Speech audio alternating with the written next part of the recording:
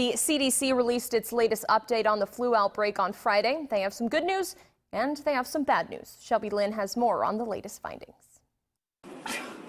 In its latest advisory, the Centers for Disease Control and Prevention says 47 states are now reporting widespread flu activity. That's up from 41 states in the last advisory. Part of the severity of a flu season depends on what strain circulates. Some are worse than others. Part depends on how many get, get vaccinated. We have had a lot more people vaccinated in the last few years, but still fewer than half of Americans get vaccinated each year. We'd like to change that. One mother thought twice about vaccinating her two year old daughter.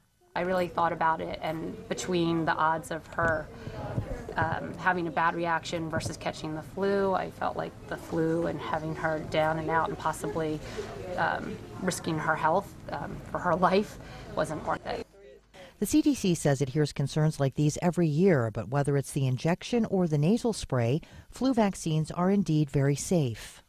Hundreds of millions of doses are given each year, and, and we've given it for 70 years. We know a lot about the safety of these vaccines, and they're really safe. Experts say it will be weeks before they know if flu season has peaked, but there still may be some good news on the horizon. The latest CDC activity map lists several states that have seen a drop in flu levels, particularly in southeastern states like Georgia, Florida, and South Carolina. And only 24 states were reporting high levels of flu activity down from 29 states the previous week. I'm Shelby Lynn reporting.